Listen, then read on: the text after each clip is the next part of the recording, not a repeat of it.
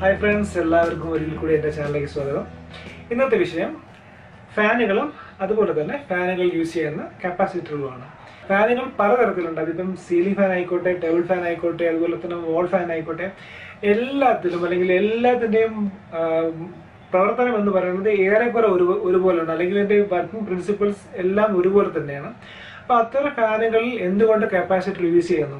അല്ലെന്നുണ്ടെങ്കിൽ ഒരു capacitor complaint ആകുകയാണെന്നുണ്ടെങ്കിൽ ഫാനിൽ എന്ത് പറ്റും? അങ്ങനെയുള്ള കംപ്ലൈന്റുകൾ നമുക്ക് എങ്ങനെ ഒരു പരിധി വരെ എങ്ങനെ സോൾവ് ചെയ്യാം എന്നുള്ളതാണ് ഇന്നത്തെ വീഡിയോ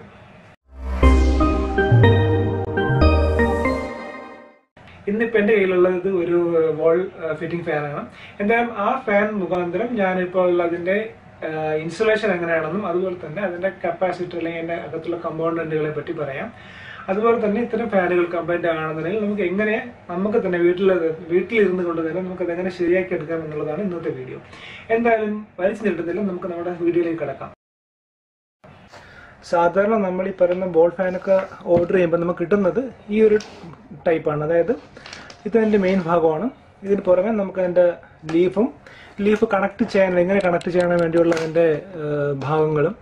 പിന്നെ ഫ്രണ്ടും ബാക്കും കവറുകളുമാണ് രണ്ട് ഫ്രണ്ട് ബാക്ക് കവറുകളും അതുപോലെ തന്നെ അതിന്റെ ഈ കവറുകൾ ഘടിപ്പിക്കാനുള്ള ഒരു സ്ട്രാപ്പ് ടേബിൾ ഫാനുകളും അതുപോലെ തന്നെ ഈ പരന്ന ബോൾ ഫാനുകൾ വാങ്ങുമ്പോഴത്തേക്ക് ഈ പരന്ന ഭാഗങ്ങളാണ് മെയിനായിട്ട് നമുക്ക് കിട്ടാറ്. അപ്പോൾ എന്തായാലും നമുക്കിത് ഫിറ്റ് ചെയ്യുന്നതിന് മുമ്പായിട്ട് ഇതിന്റെ സ്വിച്ചും കാര്യങ്ങളും എങ്ങനെയാണ് വർക്ക് ചെയ്യുന്നതെന്ന് നമുക്ക് നോക്കാം. അപ്പോൾ അതിനായിട്ട് നമുക്ക് ഇതിന്റെ ജസ്റ്റ് ബാക്ക് ഒന്ന് അഴിക്കേണ്ടി വരും. നമുക്കൊന്ന് അഴിക്കാം.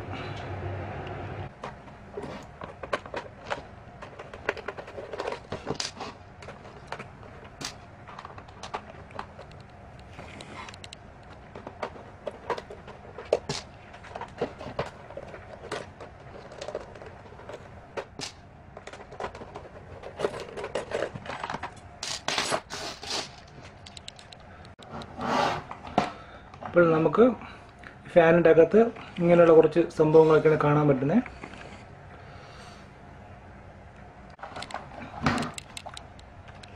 അപ്പോൾ നമ്മൾക്ക് ഇതിന്റെ അകത്ത് നമ്മൾ നോക്കുകയാണെന്നുണ്ടെങ്കിൽ മെയിനായിട്ട് രണ്ട് ടൈപ്പ് സ്വിച്ചുകൾ കാണാൻ പറ്റും. ഇത് അതിന്റെ ഈ പറയുന്ന ഡയറക്ഷൻ ചേഞ്ച് ചെയ്യുന്ന ടൈപ്പാണ് ഇതിന് നമ്മൾ കോഡ് സ്വിച്ച് എന്ന് വേണമെങ്കിൽ പറയാൻ പറ്റും ഈ ടൈപ്പ് ഇത് അതിന്റെ സ്പീഡ് കൺട്രോൾ ചെയ്യുന്ന റെഗുലേറ്റർ ടൈപ്പ് സ്വിച്ചാണ് മെയിനായിട്ട് ഈ രണ്ട് കമ്പോണന്റാണ് ഇതിന്റെ അകത്ത് നമുക്ക് കാണാൻ പറ്റുന്നത്. പൊതുവെ ഈ രണ്ട് സാധനങ്ങളും ഈ അല്ലെങ്കിൽ പൊതുവെ ഈ രണ്ട് കമ്പോണന്റുകളും അങ്ങനെ കംപ്ലൈന്റ് വരാറില്ല. നമുക്ക് കംപ്ലൈന്റ് വരാണെങ്കിൽ തന്നെ ഈ സാധനം നമുക്ക് മാർക്കറ്റ് മാർക്കറ്റിൽ അവൈലബിൾ അല്ലെങ്കിൽ റീപ്ലേസ് ചെയ്യാൻ പറ്റുന്നതാണ്.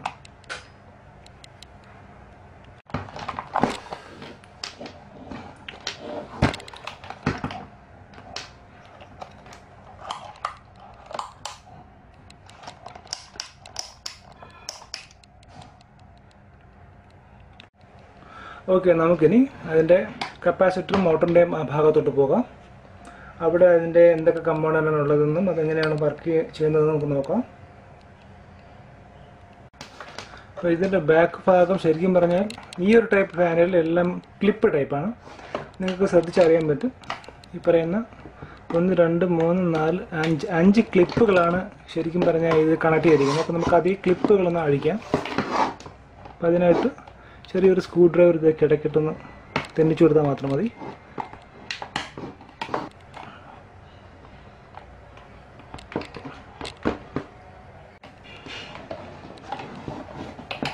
നമുക്ക് വളരെ സിമ്പിളായിട്ട് അങ്ങനെ ഊരിയെടുക്കാവുന്നതാണ്. അപ്പോൾ ഇതാണ് അതിന്റെ മോട്ടറും കപ്പാസിറ്ററും അടങ്ങുന്ന ഭാഗങ്ങൾ. അപ്പോൾ ഇത് ഒരു പക്ഷേ നിങ്ങൾക്ക് സാധാരണക്കാർക്ക് പൊതുവെ അറിയാവുന്ന കാര്യം തന്നെയാണ്. ഞാൻ പ്രത്യേകിച്ച് പറയേണ്ട ആവശ്യമൊന്നുമില്ല.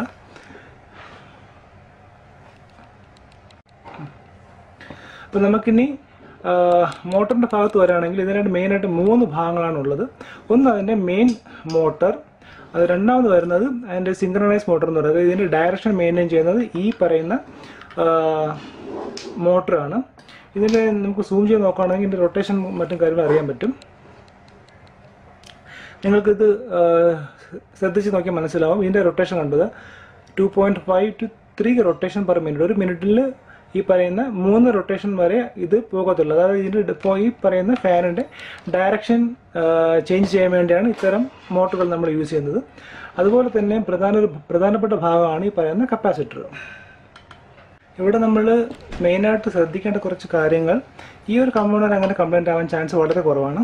അതുപോലെ തന്നെ ഇതിന്റെ കോയിലും അല്ലെങ്കിൽ ഈ പറയുന്ന മോട്ടറും ഈ രണ്ട് സാധനങ്ങൾ പൊതുവേ ഈ പറയുന്ന ലോങ് റണ്ണിൽ മാത്രമേ ഇത് രണ്ടും കംപ്ലൈന്റ് ആയിട്ട് വരാറുള്ളൂ. കപ്പാസിറ്ററുകൾ പൊതുവേ അങ്ങനെ കംപ്ലൈന്റ് ആവാറില്ല. ബട്ട് കാലക്രമേണ ഈ പറയുന്ന കപ്പാസിറ്ററുകളുടെ കപ്പാസിറ്റി തന്നെ വളരെ ലോ ആകുകയും തന്മൂലം തന്നെ ഈ പറയുന്ന ഫാനുകൾക്ക് നമ്മൾ വിചാരിക്കുന്ന രീതിയിലുള്ള ആ സ്പീഡ് കൊടുക്കാൻ സാധിക്കാതെ വരികയും ചെയ്യുന്നു. അപ്പോൾ അത്തരം സന്ദർഭങ്ങളിൽ നമുക്ക് വളരെ സിമ്പിളായിട്ട് ഈ പറയുന്ന കപ്പാസിറ്റർ മാറ്റാവുന്നതാണ്.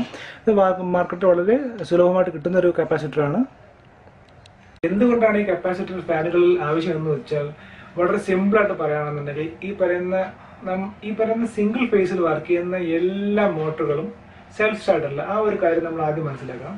സിംഗിൾ ഫേസിൽ വർക്ക് ചെയ്യുന്ന ഒരു മോട്ടറും സെൽഫ് സ്റ്റാർട്ട് അല്ല. അതിന് ഒരു മൂവിങ് എനർജിയുടെ ആവശ്യമുണ്ട്. ഒരു എക്സാമ്പിൾ പറയുകയാണെന്നുണ്ടെങ്കിൽ നമ്മൾ പറയുന്ന പഴയ കാലത്തെ ഫാനുകളിൽ കുറച്ച് കാലപ്പഴക്കം വന്ന ഫാനുകൾ അതിപ്പോൾ സീലിംഗ് ആയിക്കോട്ടെ ടേബിൾ ഫാൻ ആയിക്കോട്ടെ നമ്മൾ സ്വിച്ച് ഓൺ ചെയ്യുമ്പോഴത്തേക്ക് കറങ്ങാതെ ഇങ്ങനെ ഒരു ജസ്റ്റ് ഒരു മൂളലോട് കൂടി ഇങ്ങനെ നിൽക്കുന്നത് കാണാം. അപ്പോൾ നമ്മൾ എന്ത് ചെയ്യും? നമ്മൾ സ്വാഭാവികമായിട്ട് നമ്മൾ എന്തെങ്കിലും നമ്മൾ കൈയോ അല്ലെങ്കിൽ ചെറിയ കമ്പോ കമ്പോ കൊണ്ടുവച്ച് നമ്മൾ ആ പറയുന്ന ലീഫ് ഒന്ന് തിരിച്ചു വിടും കറക്കി വിടും. അപ്പം സ്വാഭാവികമായിട്ട് എന്ത് ചെയ്യും? നമ്മൾ പഴയ പോലെ കറങ്ങാൻ ആരംഭിക്കും. അല്ലെങ്കിൽ സീലിംഗ് ഫാൻ ആയിക്കോട്ടെ അത് ഇതേപോലെ ഇങ്ങനെ നമ്മൾ ഓൺ ചെയ്യുമ്പോഴത്തേക്ക് ഇങ്ങനെ അനങ്ങാതെ നിൽക്കും. സൗണ്ട് മാത്രം കാണും ജസ്റ്റ് മൂളൽ മാത്രം കാണും. അപ്പോൾ നമ്മൾ എന്ത് ചെയ്യും? നമ്മൾ ഒരു വടിയോ എന്തെങ്കിലും എടുത്ത് ഒന്ന് കറക്കി വിടുന്നു. എന്ന് കറങ്ങിക്കോളും. ശരിക്കും പറഞ്ഞാൽ ഈ ഒരു പ്രതിഭാസം ഉണ്ടല്ലോ ഈ പറയുന്ന ഒരു പ്രക്രിയ ഇതിനെ സഹായിക്കുന്നതാണ് കപ്പാസിറ്റർ. ഇനി കുറച്ചും കൂടെ ലളിതമായിട്ട് പറഞ്ഞാൽ നമുക്ക് എല്ലാവർക്കും അറിയുന്ന ഒരു കാര്യമാണ് മാഗ്നറ്റ്. മാഗ്നറ്റിൽ രണ്ട് ധ്രുവങ്ങൾ കാണും. അറിയാലോ? ഒരു സൗത്ത് പോളും കാണും ഒരു നോർത്ത് പോളും കാണും. നമ്മൾ പണ്ട് കാലത്ത് പഠിച്ച കാര്യമാണ് ഈ പറയുന്ന വിപരീത ധ്രുവങ്ങൾ നമ്മൾ ആകർഷിക്കുകയും അതുപോലെ തന്നെ ഒരേ ധ്രുവങ്ങൾ വരാൻ അടുത്ത് വരാണെന്നുണ്ടെങ്കിൽ വികർഷിക്കുകയും ചെയ്യും. ഇപ്പൊ ഈ ഒരു പ്രിൻസിപ്പിളാണ് ഈ പറയുന്ന എല്ലാ മോട്ടറുകളിലും അല്ലെങ്കിൽ ഫാനുകളിലും ഒക്കെ യൂസ് ചെയ്തിരിക്കുന്നത്. അപ്പോൾ എന്തായാലും നമുക്കിനി ഇതിനെ അസംബിൾ ചെയ്യണം അപ്പോൾ അതിനായിട്ട് നമുക്ക് ഇതിന്റെ ബാക്ക് ഡോർ നമുക്ക് തിരിച്ച് അതേപോലെ പഴയ പോലെ ഫിറ്റ് ചെയ്യാം. ഇതൊക്കെ വളരെ മുമ്പത്തെ പോലെ സ്ക്രൂ ഒന്നുമില്ല. എല്ലാം ഇപ്പോൾ വളരെ സിമ്പിളായിട്ട് തന്നെ നമുക്ക് മാനുവലി തന്നെ ഒരു ടൂൾസിന്റെ ആവശ്യമില്ല. നമുക്ക് നമ്മുടെ കൈകൊണ്ട് തന്നെ നമുക്ക് വളരെ സിമ്പിളായിട്ട് തന്നെ ലോക്കിൽ ഇടാവുന്നതാണ്.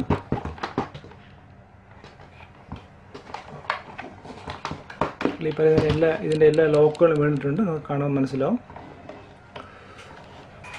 അടുത്തതായിട്ട് നമുക്ക് ഫാനിന്റെ ബാക്ക് പോർഷൻ നമുക്ക് ഫിറ്റ് ചെയ്യേണ്ടതുണ്ട് ഫാനിന്റെ ഫാനിന്റെ ബാക്ക് പോർഷൻ നമുക്ക് ബാക്ക് പോർഷൻ ഘടിപ്പിക്കാം.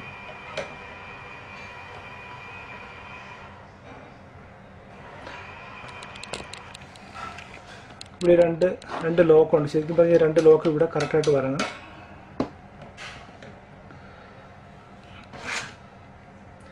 അതിനുശേഷം നമുക്ക് ഈ പറയുന്ന ഒരു ഈ പറയുന്ന നമുക്ക് ചെറിയ നോവുണ്ട് നമുക്കത് ടൈറ്റ് ചെയ്ത് വെക്കാം. നന്നായിട്ട് നന്നായിട്ട് ടൈറ്റ് ചെയ്ത് വെക്കാം. ഓക്കെ അത് നന്നായിട്ട് നന്നായിട്ട് ടൈറ്റ് ആയിട്ടുണ്ട്. അതിനുശേഷം നമുക്ക് അതിനുശേഷം നമുക്ക് നമ്മുടെ ലീഫ് അതിലോട്ട് ഘടിപ്പിക്കാം ഓക്കെ ലീഫ് ഘടിപ്പിച്ചിട്ടുണ്ട്. പിന്നെ ഈ നോബ് ശരിക്കും നമുക്ക് കൗണ്ടർ ക്ലോക്ക് വൈസ് ടൈറ്റ് ആവുന്നത് കേട്ടോ. കാരണം ഫാനിന്റെ മൂവ്മെന്റ് ക്ലോക്ക് വൈസ് ആയതുകൊണ്ട് ഇത് നമുക്ക് എപ്പോഴും ജസ്റ്റ് ഓപ്പോസിറ്റ് ടൈറ്റ് ആകത്തുള്ളൂ നന്നായിട്ട് ടൈറ്റ് ചെയ്യുക.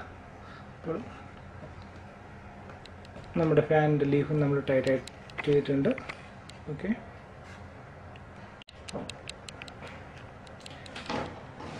ഇനി അതിന്റെ അടുത്ത ഭാഗം എന്ന് പറയുന്നത് ഇതിന്റെ ടോപ്പാണ് ടോപ്പ് നിങ്ങൾക്ക് ഈ പറയുന്ന ബ്രാൻഡ് നെയിം മുകളിൽ വരുന്ന രീതിയിലിട്ട് ചേർത്ത് വയ്ക്കുക ചേർത്ത് വെച്ച ശേഷം ഈ പറയുന്ന ഈ മൂന്ന് ലെയർ ഉണ്ട്. ശരിക്കും പറഞ്ഞാൽ ഈ ലെയർ ലെയറിന്റെ അകത്ത് തന്നെ ഈ പറയുന്ന രണ്ട് ഫ്രെയിമുകൾ അകത്ത് വരുന്ന രീതിയിൽ സെറ്റ് ചെയ്യുക. ലേശം ശ്രമം പിടിച്ചൊരു ജോലിയാണ്. അപ്പോൾ അത് നിങ്ങൾ വളരെ ശ്രദ്ധിച്ച് കെയർ ചെയ്ത് ഈ പറയുന്ന രണ്ട് ഫ്രെയിമുകളും സ്ട്രാപ്പിനകത്താക്കുക അതിനുശേഷം ഈ വരുന്ന ജോയിന്റ് നമ്മൾ നന്നായിട്ട് ടൈറ്റ് ചെയ്യേണ്ടി വരും. ഓക്കെ.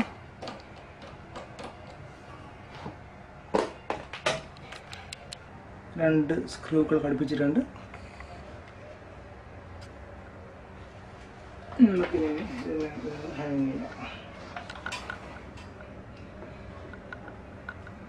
ഈ പറയുന്ന ബുക്ക്.